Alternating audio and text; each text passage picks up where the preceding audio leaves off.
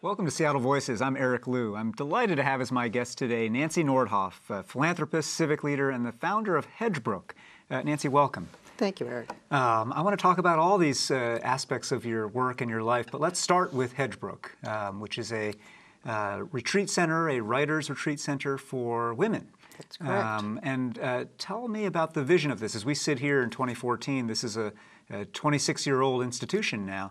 Um, why did you start Hedgebrook? Well, it was an idea. I've bought a piece of land on Whidbey Island to live on. And when I began to explore it, it's it was 30 acres, um, wandering through the woods, trying to find my way in, trying to find my way out. And there were buildings. There was a farmhouse, there was a barn, there was, um, gosh, I guess that was all. Oh, there was a, a workshop and I said to myself, boy, this is a pretty big piece of property. These are old buildings. I'm all by myself. What the devil am I going to do with this? Um, and for whatever reason, uh, the idea wasn't a vision, wasn't a dream. The idea of this land, this is a nice piece. It's creative. It wants to have something happen on it, hmm. not necessarily to it, but on it. And from that kind of rejection of my first idea of this is a place I might want to live, um, came the idea of, of women's voices. I'm a graduate of Mount Holyoke College, which is a, a, a college for women. And I, even after almost, well, it was 40 years at that time out of graduation, I think some of those values kept poking away at me. Mm. And uh, so the idea came uh, women need that kind of, women need support. Um, artists need support. What might we do here that would support women? And if not women doing it, who else would? Hmm. So out of that came um, a residential place with six cottages and a, and a house um, for seven women to spend time working. Just an idea. I was fortunate enough to have resources to do it and a commitment to do it, which, you know, many ideas sit on a shelf or in somebody's head mm. and never get done. And I think it was meant to be. I, I, don't think there was a spirit about it all, except maybe the land.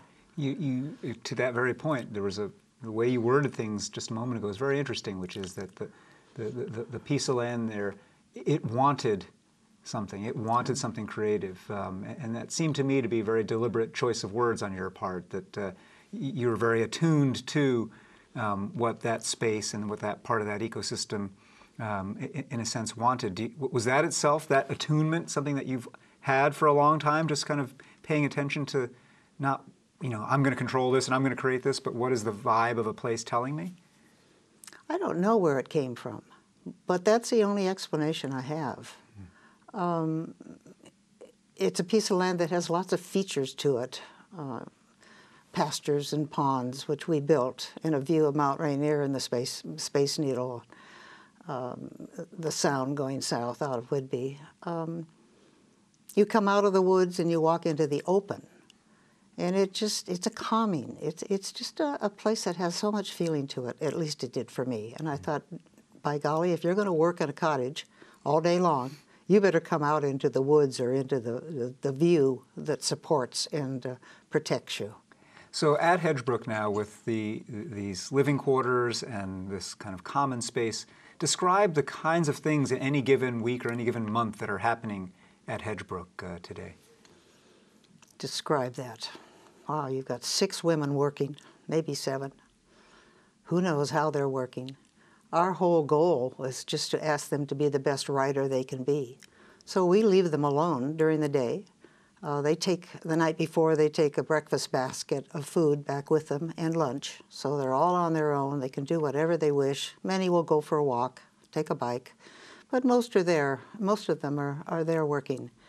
Um, the kind of work that we think we're supporting and want to support is the kind of hard work inside. If you have a story to tell, you know, it may be a personal story, it may be one just racked with emotions that takes a heck of a lot of digging. It may be a story of part of your life that you've experienced and need to be told. I was trying to think of something I heard this weekend that oh, I can't come back with it, Eric, but everybody has something they want to work on. Mm. And they may work on it for a while, they may turn to another one, they may finish a piece.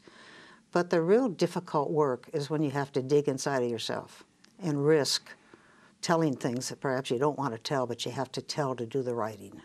So there's that going on in the cottage. There may be some people wandering around outside enjoying the outside. They come together, we, we combine that solo work, and it is very solo. Writing is very solo work. Maybe all the creative arts are. Um, with a community time around dinner and the, in, down in the farmhouse. So the cottages are scattered a, across the land, not too far apart, they're not really scattered. And you come down to the farmhouse to gather for dinner. Uh, that's a balance. Balance of working hard alone, mm. balance of coming together to talk about what you've been doing, ask questions, ask for help if you need it. So the day is um, whatever any one of those women want to make it. Is there a typical duration of stay for, for a writer? We're two weeks to six week possible. Uh, I think the average now is around three, three and a half. Mm-hmm. We started out much higher than that. Longer stays, three months was the longest. Hmm. People got bored. didn't know what to do with themselves after the second month. Well, there is something, I mean, even the, the, the physical layout and space itself uh, embodies, which is limits are helpful, right? I mean, if Absolutely. you have if, if, you, if you know you've got three weeks there um, to do that kind of deep digging and yep. deep excavation you're describing, that can concentrate the mind. Yes. Right? Mm-hmm. Um, Correct. And so, over these 26 years now that Hedgebrook has become uh, not just this retreat center, but now more broadly, it, it stands almost, the, the, word Hedgebrook stands for a community, a whole ecosystem of, of people, of artists and creators. Um, what's changed over time uh, about uh, how it works? Is the is the core experience essentially as it was, uh, you know, a, a, couple of decades ago? Yes, and it's pretty amazing. Our our values that we started on, the founding principles, um, are pretty much the same. And those the two important ones. Um, I've been talking about this. We went down with an alumni gathering in San Francisco this week, so I did a little prep. um, there's no charge to the women who come, so room and board is provided. They have to get themselves there. Uh, so airfare is certainly, and we have many from, from overseas, so that is a commitment. The other one is, is the commitment to diversity. And that's across the board. But the particular one that I'm very proud of, and it was not, I have to give credit to a good friend of mine who said, Nancy, you must, you must care about women, women of color and making room for them and do it um, deliberately. So the other kinds of diversity, ethnicity, um, religion, age, geography, um, oh, anything you want to, we don't want to leave out anybody. It is mm-hmm. not exclusive, inclusive. It, we need to be inclusive. Mm-hmm. And, but the diversity is, is of women of color about 50% and has been that way from the beginning. I'm really proud of that. Hmm. And it's a wonderful mix of women around the table. You mix African American from this country, Asian Americans, and then overseas people. They don't know each other, except they're all women and they're writers. Mm-hmm. And there they are. Mm-hmm. That universal aspect of right craft and story finding and storytelling and, starts to connect those yeah, dots. And and being all women, it's it's a totally different environment than being a co-ed situation. Well, so I'm really pleased with what the, the you know, we've had many board members and lots of changes in executive directors, but the core values have stayed the same, which says something to me. Of course, I will admit, Eric, that if somebody starts kicking around a strange idea, I speak to them, but not often. you know, I want to just linger a bit longer on the on one aspect of the core, which is, as you say, a space for women. And you know, I mean, Virginia Woolf's phrase, "a room of their own," right? right I mean, the, the, right. this, this this idea that it matters, um, that it matters in society in general, that it matters in particular for artists. Um, you said you were 40 years on, you were still being poked by the values that uh, Mount Holyoke College had instilled in you. D- describe those values. Describe the ways in which that um, single-sex educational experience had, had shaped you. Well, I can't do it as articulately as many, but I don't know where else that idea came from. And um, part of our part of Mount, Holyoke's um, mission is to educate um, young women and to, to be leaders in the world. Um, and I, you know, some women, I mean, look at the young group of women now who are taking leadership positions coming out of early business careers and having some, some affluence. Um, our generation, I think, had to go to college, had to come back, had to start a family, had to do all those kinds of things until at some point you're really freed up to figure out what it is you want to do as a woman, in, in my case, at age 50, and that was the breaking point for me. You, you took a cross country drive. That, I did. That, I did do that. Yes, a couple times, which was great fun. Uh, but it was a changing time in my life. Uh, I'd I'd been in uh, Seattle boards as volunteers and whatnot for 20 years, and I had burned out, and I knew it. It was easy, easy to tell. So I had bought a van and uh, started driving. Didn't take too long, just you know, just thinking. But came back from that and then had an opportunity to think what would I do if I had the ability to just be creative with my life. Hmm. And Hedgebrook is what came. Hmm. I have no explanation for that other than it was the right time, right place. What impelled you getting in that van in the first place, though? That feel, I mean, yes, you said you felt burned out and, and the rest, but plenty of people reach a point in midlife where they're they know that what has come before isn't quite working anymore, but they don't. But relatively few people will get in a van, destination unknown, start going, and then start reflecting on how do I make something creative out of the, the rest of my life. What, what, what do you think sparked that? Well, I like to drive, and I didn't mind driving alone. And I'd driven across the country a couple of times, and it was just an adventure. Um, I was either alone or I had had a friend with me, but not all the time. But it was it was the freedom of the road, because you can't do that now. A woman can't. I don't think a woman can take off and do what I did. I mean, I would drive until I came to a rest stop or the end of the road, which I wouldn't do now. Hmm. But it was uh, it was freedom. It was a, a change of pace from home. A little selfish, because I left I left my husband, a kid's father, with. Uh, I guess just one daughter at the time. Um, but I, I, I, did it. That's all I can say. It, it was a selfish act, but it, it's turned out, I think, where we're all in pretty good shape. I, am curious on, on this. I mean, the act of creativity, uh, oftentimes, you were alluding earlier to, you know, many creative acts uh, at a certain core are solo acts. Um, mm. And, and to, to be generative often uh, in creating something, whether artistic or in business as an entrepreneur or in politics, whatever the field may be, a certain amount of selfishness is required, right? A certain amount of both ego and I- am going to focus on this or me or what this is.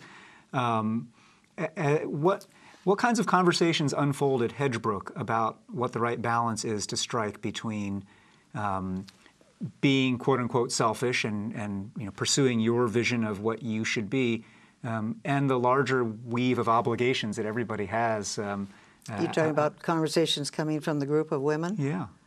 Well, I think they do just exactly what you said. Um, it's a it's a difficult balance depending upon whether you're holding a job full time, whether you have a family, what your obligations are. One of the, the probably the strongest thing that that happens while a woman is there, and many do come as have published uh, authors but those who don't often leave by saying, I am a writer. There was a story I heard last week where a woman was came. We took her to her cottage and then came on back down to see the farmhouse. And whoever was bringing her, one of the staff members, said, "This is where the writers eat dinner." And she said, "Well, where do I eat?" Uh, a couple of days later, she was able to admit she too was a writer. But many, when they leave, um, they can say that and they can say it with you know, good conviction. Mm-hmm. Yeah. That, that story of self, uh, you know, I, I want to just return to even prior to Mount Holyoke College for you. You are part of a, a, a prominent and civically and philanthropically active uh, uh, family here in the Seattle area. Um, growing up uh, here, did you have a sense of uh, here's what you're expected to be, Nancy? Here's what you know you, you are the kind of life you're to have? Is that what had gotten you gotten you in the first place on this whole treadmill of doing tons of boards and volunteering and the rest? And what, Um, what was that story in kind of those first chapters of what Nancy's supposed to be? Oh, I think you're right. I think that's what it was. Um, you grow up in a family in which you see good things being done. I don't think I was ever told what to do, but it was implicit. Um, and I guess I did it.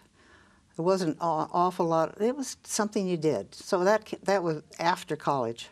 I came back uh, to Seattle and uh, had some couple couple of years on my own. One thing that wasn't uh, I didn't put in that bio was that I learned how to fly an airplane after college. And I think I chose flying because my brother was into racehorses and roses, and my sister was into hunter jumpers, and they had their things, and I wanted my thing. I don't know why I did that. A couple years before uh, that was over, but it was it was fun.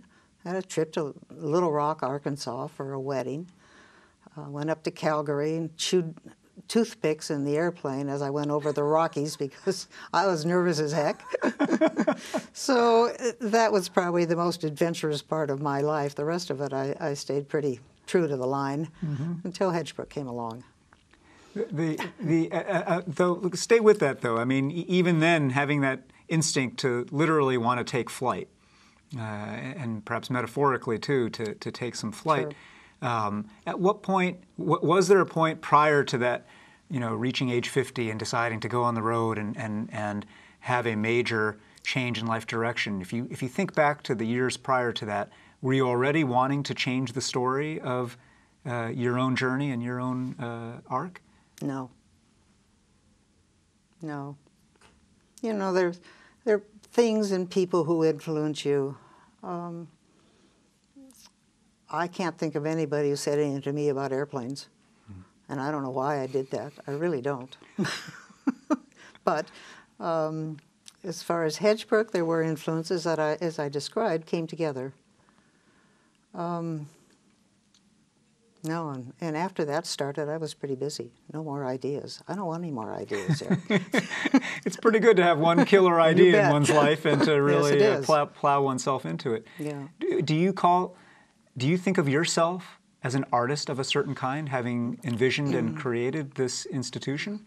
well, I don't think just from this. Um, I think everybody is creative. I think we all have creative instincts within us. We don't all have the ability or the time or the circumstances to pull them out. Um, I went to St. Nicholas School. Remember where St. Nicholas was? It's next to St. Mark's and then became part of Lakeside. But our sophomore year or our junior year, there were only 11 of us in the class. And I was an athlete. And I spent most of my time creating lineups for my 10 other classmates mates to play volleyball.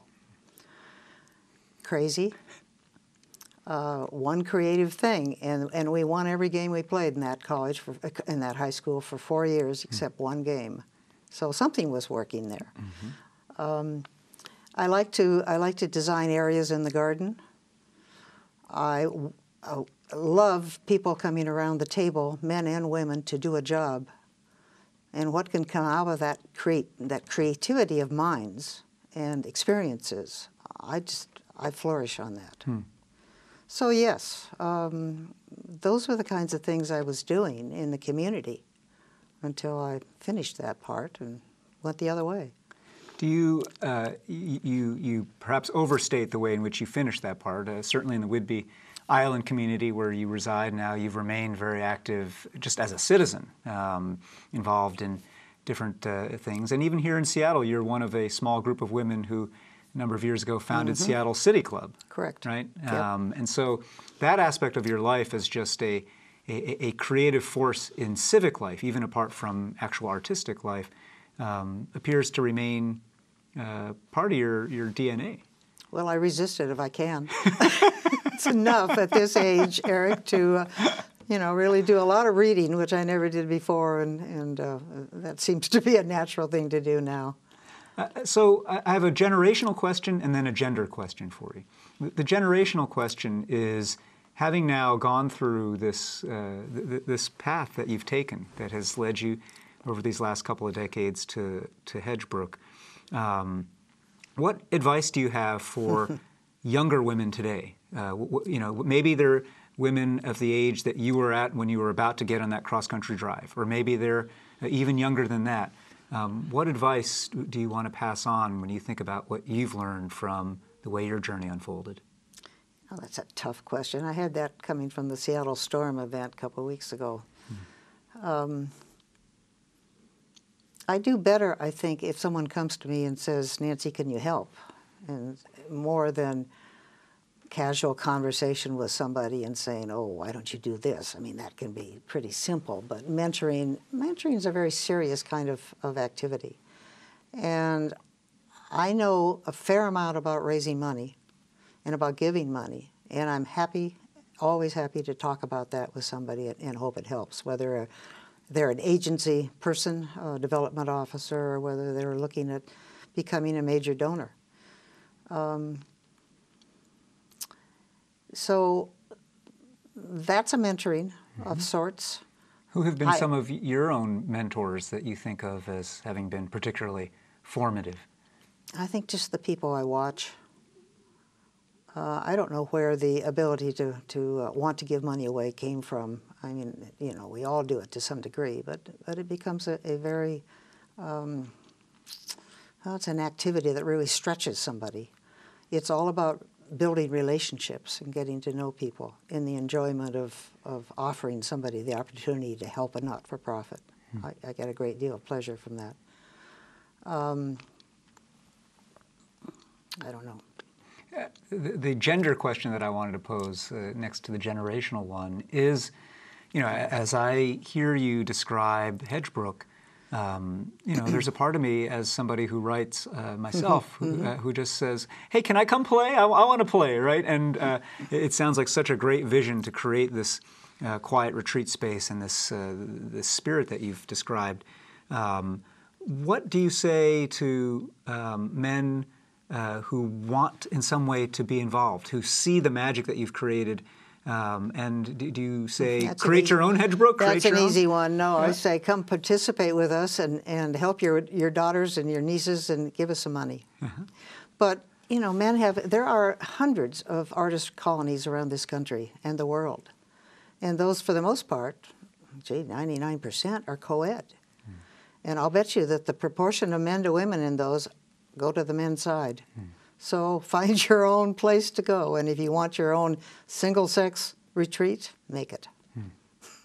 Do you, um, a- as you have been so involved in the life of Hedgebrook, what's changed in you? Just your own worldview or h- how you do things? Uh, wh- wh- what's what's evolved? Well, I, I can remember a family meeting that we had talking about um, how the family can make a philanthropic gift to the community. and the question came to me, and I said something like, Well, I don't know what my life work has been. And Grace, the older daughter, the wise, wise one, said, Mother, Hedgebrook. Hedgebrook was what, is what your life has given you, is what you have done. So I think that was true. Um, it's it's not easy for me to take credit for Hedgebrook now. I can take credit for building it, for investing in that. But the strength of Hedgebrook are the women that are working there and the women who have been there and go out into the world. And I'm a bystander. Um, yes, I'm a founder, and yes, it's really nice to be said, hooray, hooray, hooray for Nancy. but, you know, I'm not doing a thing now except what I can do to help. Um, so I don't know if that answers your question or not, but it's a, it's a, it's a wonderful role to be able to play, to be a founder, and to have something so doggone successful, you know. We went through some rough times, but we came out of them, as all not-for-profits do, I think. Sort of like you go through your teenage years and then into young adulthood, and now at 26 years, we we look pretty good. Moving into the world with uh, a national board, gathering more people from around the world, and doing some very fine publications. Have you inspired the creation of other Hedgebrook-like institutions? Yes, yes. they haven't all stayed in business though. Soapstone was a small uh, two women uh, facility down out west of Portland, and they've had to, to step away from that and sell the property. So it's a, it's a continual fundraising job. Uh, and you need good people to do that. Unfortunately, we have that at the moment. You know, the, the community of people now over 26 years, how, how often do you have reunions or a chance for people who are part of this? You were describing earlier 1,500 uh, women who've, who've uh, participated in the work of Hedgebrook. How often do they get to meet each other? Well, at, at Hedgebrook itself, we've had two reunions. One was at year five, and then last year at year, at year 25. And that year, last year, was, was dedicated just to having alums return to, as writers in the cottages. But then we did have a reunion for a weekend. And I don't remember how many came, but there were tents out set out, and people stayed on the island, and uh, it was a good gathering. Um, what was part of that question? around the uh, part of our mission is not only the retreat center there on Whidbey, where we have women in residence, but it's to support those women as they go into the world. So there are gatherings of alums in cities that they call themselves together. San Francisco, Los Angeles, New York are the biggest. So they, they're very supportive. In Brooklyn, there is a uh, facility called um, Hedgebrook, well, Brook, Hedgebrook, Brooklyn, Grace, where are you? um, done by two, by, by a, an alum of Hedgebrook, where they have a, a writing retreat, a, a civic, you know, a, s- a center to come and rent a table and write. So that's they're not all alums, but they gather around a, a make fire like, and they have food, and they have desks, and they talk. So that's a Hedgebrook event there. Um, but people are very supportive of each other. Well, it's a very powerful Yes, it is. vision, uh, and you know, I, I, I appreciate the way in which you say, without false humility, that though you started it, you are a bystander now. That you've created something where the ecosystem has taken life of its own, and um, and there's tremendous uh, power and promise in it. Uh, Nancy Nordhoff, thank you for joining us today. Did it go that quickly, Eric? It sure did. All Uh, right, Thanks sure. very Thank much you for very this much. conversation. Yes. My guest today has been Nancy Nordhoff, philanthropist, founder of Hedgebrook, uh, and civic leader in our region. You've been watching Seattle Voices. I'm Eric Liu. Thanks for joining us and tune in again.